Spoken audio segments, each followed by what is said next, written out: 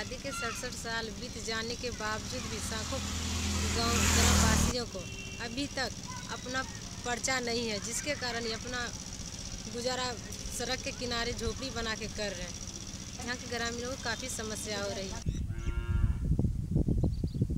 पचास नौ साल बसला भए गेलै जमीनके पर्चा नहि छै कोइ चीज़ नहि छै। एक आ बसैल छै, एक घरके ज़मीन वएह एके बेटा, पुतहु, बेटी, सब एके घरमे रहै छी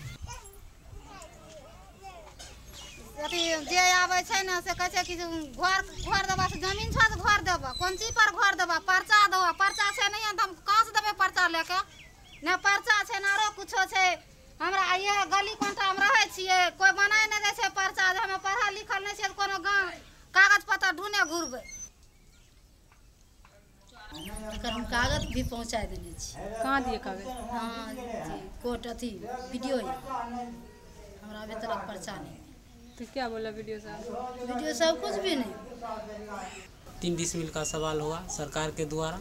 हम लोग जो है सी ओ साहब से मिल के 2011 में हम लोग जो है कि जे 120 आदमी को आवेदन दिए। उसके बाद फिर जो है हम लोग 2014 में आवेदन एक सौ बहत्तर आदमी को दिए। उसमें से जो है खास करके चमड़ाही में मात्र सत्रह आदमी को पर्चा मिला।